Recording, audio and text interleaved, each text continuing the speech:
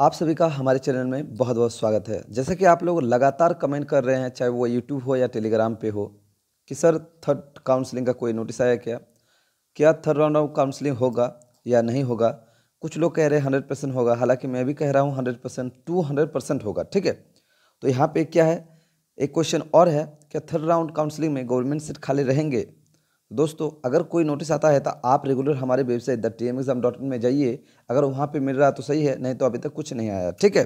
क्योंकि वहाँ पे सबसे पहले मैं अपडेट देता हूँ टेलीग्राम पे सबसे पहले अपडेट तो आइए इस वीडियो में हम बात करते हैं क्या थर्ड राउंड होगा आ, क्या गवर्नमेंट सीट खाली रहेंगे और कब तक जो इसका नोटिफिकेशन आएगा। इन सभी चीज़ों को बारे में हम डिस्कस करेंगे।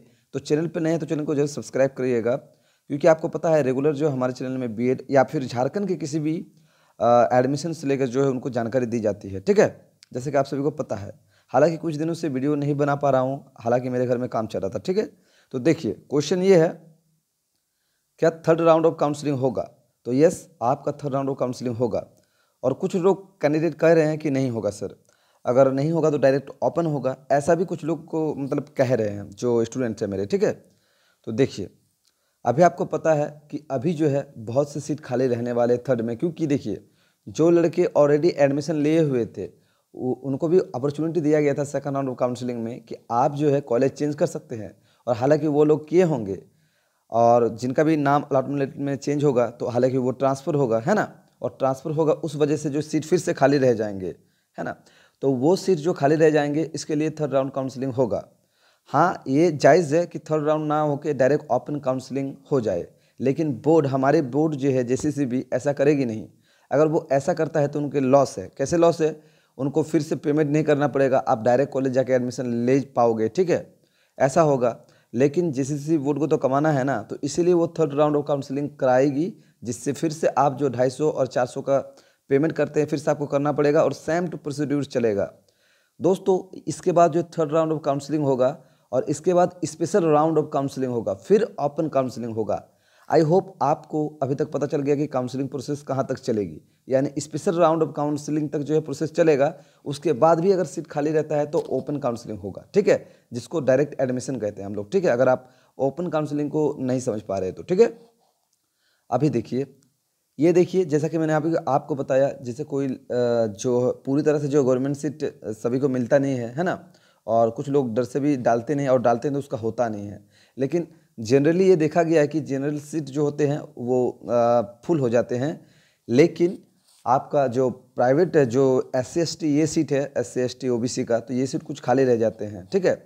तो इस गवर्नमेंट के अंडर में प्योर गवर्नमेंट का ही मैं बात नहीं कर रहा हूँ सेमी गवर्नमेंट भी है, ठीक है ना? जैसे कि S S L N T Dhanbad, ऐसे जितने भी है सेमी गवर्नमेंट उसका भी बात कर रहा हूँ। अगर आप प्योर गवर्नमेंट कह रहे हैं तो शायद ही मतलब सीट बचा रहे, दो चार सीट बचा रहे, है ना?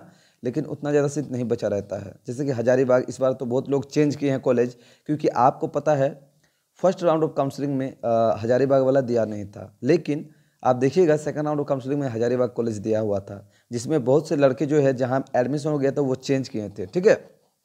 तो हालाँकि ये बोर्ड का जो खेला है, आप लोग नहीं समझ पाएँगे, क्योंकि, है ना, ये जो है, उनको कमाने के ये है, नहीं तो वो फ़र्स्ट राउंड ऑफ़ काउंसलिंग में ही हजारीबाग कॉलेज को दे देते। तो वो नहीं दिया सेकंड राउंड में दिया, है ना? तो देखिए काउंसलिंग का जो नोटिस अभी तक आपका इसलिए नहीं आया है क्योंकि देखिए, तेरह तारीख तक जो था एडमिशन चला बी एड सेकेंड राउंड का, क्योंकि डेट बढ़ाया गया था। इसीलिए आप लोगों को एक सप्ताह तक वेट करना पड़ेगा, एक सप्ताह। यानी आज है पंद्रह तारीख, ना? तो आप लोग बीस तारीख तक, बीस तारीख तक आप लोग का जो है नोटिस जारी कर देगा। हालाँकि इससे पहले जारी कर सकता है, कल परसों के अंदर ही, लेकिन मान के चलिए बीस तारीख तक। हालाँकि मैं बीस तारीख ही क्यों बोल रहा हूँ, इसका रीज़न है। देखिए दोस्तों, बहुत लोगों का भी पेंडिंग चल रहा है। अभी एग्रीकल्चर का एग्ज़ाम चल रहा है, उसके बाद BSc nursing ANM GNM nursing paramedical ये सभी का एग्ज़ाम ले रहा है बोर्ड और उसका आंसर की अभी तुरंत मतलब इतना जल्दी रख दिया है कि दो दिन बाद ही आंसर की हम लोग दे देंगे। तो आंसर की फिर 20 तारीख तक रिज़ल्ट भी देना है। इसलिए बीएड का ध्यान अभी नहीं रहेगा।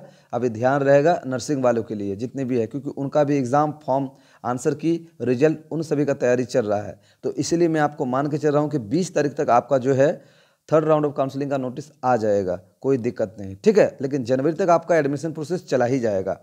अभी आप लोग कह रहे हैं, ज़रूर कहेंगे ये कमेंट में कि, सर, अगर उतना दिन चला गया तो सेशन तो डिले हो जाएगा। Second question sir E Kalyan का तो फॉर्म भरे, भर नहीं पाएँगे क्योंकि डेट ख़त्म हो गया, ग्यारह दिसंबर था। तो देखिए, आप लोग अगर थोड़ा सा मोटिवेशन और थोड़ा सा ईमेल वगैरह भेजेंगे उनको तो आप लोग ज़रूर मतलब कुछ उपाय लगा सकते हैं कि स्कॉलरशिप का जो पोर्टल है वो खुल जाए। हालाँकि इसके बारे में विवाद चल ही रहा है रांची में। अब देखिए क्या होता है, उसके रिगार्डिंग में कोई अगर नोटिस आता है तो मैं आपको एक वीडियो बना के इन्फॉर्मेशन ज़रूर दूँगा, ठीक है? तो आई होप आपको ये वीडियो पसंद आया है कि कब आएगा आपको जो है थर्ड राउंड ऑफ़ काउंसलिंग का नोटिस तो ज़रूर एक लाइक कीजिए और मिलते हैं नेक्स्ट वीडियो में। तब तक ले bye bye thank you very much for watching this video